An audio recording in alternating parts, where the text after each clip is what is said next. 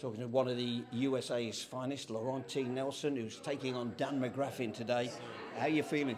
I'm feeling great, man. Ready to go. Ready to put on a, a show for uh, for all the English crowd and everyone watching back home. Now, obviously, you'll understand we want the English team to win. No, Understand that? it's it's just the way. It's this wonderful, wonderful competitiveness between Yes. us. But the fights look well matched. Yeah, 100%. I think uh, Dan McGrath and I is going to be a banger. He, he likes to step forward, not go back. I like to step forward, not go back. It's going to be a show for the fans and for the ages. Everyone's going to love it. Um, and I know every every fight that they put on this card, it's it's very competitive, and they've they've done done great with the matchmaking to make it competitive like that for the crowd.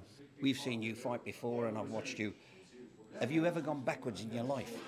Um, you know, maybe after I, I get maybe in MMA after I got taken down and I finally get up and I step backwards to catch my breath because those people have been wrestling me. But other than that, no, I'm stepping forward or at least keeping my ground. Are you? Have you watched Dan? What are you expecting? Yeah, I know. I, lo- I know Dan. Dan is a dangerous, uh, dangerous guy. He's um, he's super like um, up and down. He likes a big right hand, and I know he's a he's a, he's got a strong left hand too because I believe he's left-handed but stands orthodox. So he's got a strong left hand, big right hand. So I just have to watch out for that power and just keep uh, keep moving the way I do. I was going to say you're confident, but you're American. Of course you are.